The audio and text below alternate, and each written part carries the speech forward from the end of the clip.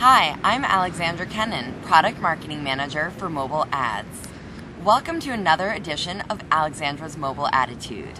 It's a gloomy day at the Googleplex, but we have something really exciting to announce. You may be wondering why I'm standing next to this guy. What we're announcing today is that all AdWords advertisers will be able to target their ads to show on iPhone, Android, and any other mobile device with a full HTML internet browser.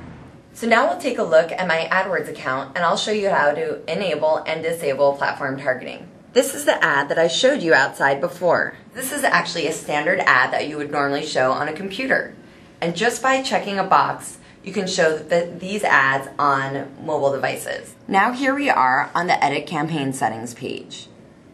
I'm going to scroll down to the Networks and Bidding section and now you can see the different types of platforms that you can target with your ads.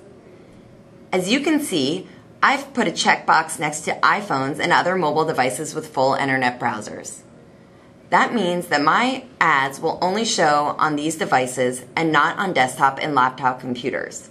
You can check both of these boxes at one time, but there must be at least one box checked at all times. One of the major benefits of platform targeting is that advertisers can now show their desktop ads on mobile devices and direct users to their desktop websites. These platform settings don't have any bearing on the mobile ad campaigns you're currently running.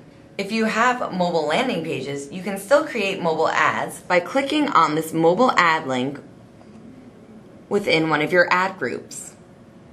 Mobile ads are different than platform targeted ads because they have shorter ad text and require a mobile landing page. So now you have the ability to show desktop ads on mobile phones as well as mobile ads on mobile phones. For more information on platform targeting or mobile ads, check out my previous posts on the Google Mobile blog or the AdWords Help Center. Thanks for watching this episode of Alexandra's Mobile Attitude. Cheers!